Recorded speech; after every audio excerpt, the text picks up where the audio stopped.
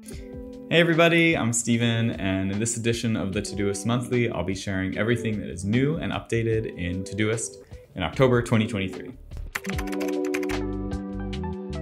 This month, we've really been focusing on small quality of life improvements. There's been a ton of stuff happening behind the scenes. I think we released 240 approximately uh, changes across all of our apps this month but I'm gonna highlight six that are potentially interesting.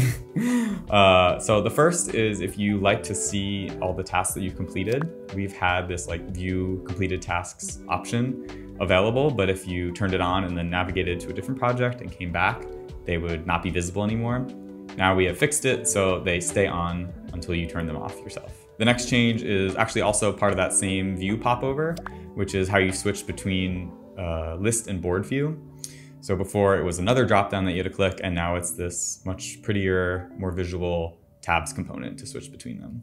Also, we have a keyboard shortcut for this. This is something that has already existed, but I just want to call it out, which is Shift V to toggle between the two.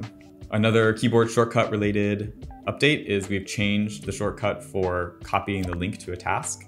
I don't know what it was before, but now it is Command Shift C if you're on a Mac or Control Shift C if you're on Windows.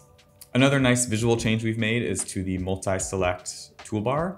So now if you hold down Command or Control and click on multiple tasks in a list, this nice element will appear and you can make batch changes to your tasks. The functionality is the same as it used to be, it just looks different now. The last change that you might notice is that we have fixed the macOS uh, reminder notifications. Previously they were broken and now if you click on the notification, it'll take you directly to that task. And if you press the complete button on the notification, it'll actually complete the task, which is great because that's probably what you wanted to do. okay, two more things that I want to talk about, which are just like really behind the scenes technical improvements to make Todoist uh, faster. The first is we've added virtualization to our task list render. This is so hard to say. Virtualization to our task list rendering.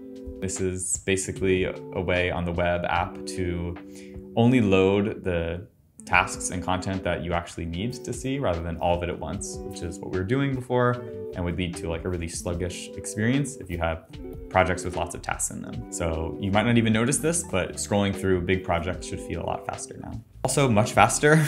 this one I'm just gonna read because I don't really have much more context for, but essentially the web app reloads even quicker now thanks to some under the hood changes the way that we release updates, and they're now released 50 times faster and that's according to our front end head, Henning, and he is not known to exaggerate, so you can trust that number. So those are all the changes in the app that I wanna talk about this month, but before I go, I wanna invite you to check out some of our other YouTube content that we've been making. Uh, Naomi has been producing these like less than 10 minute long productivity guide videos, which gives you a starter kit for thinking about how you get things done uh, in a more structured way. One that she made this month is called the Eisenhower Matrix, and it's a very simple structure for determining what is important or not and urgent or not in your task list. And then it helps you decide what to do, what not to do, what to ask someone else to do, and what to do later.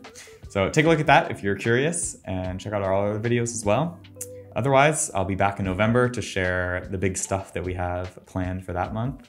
And I'm very excited for some of those things, so stay tuned. See you later. Bye.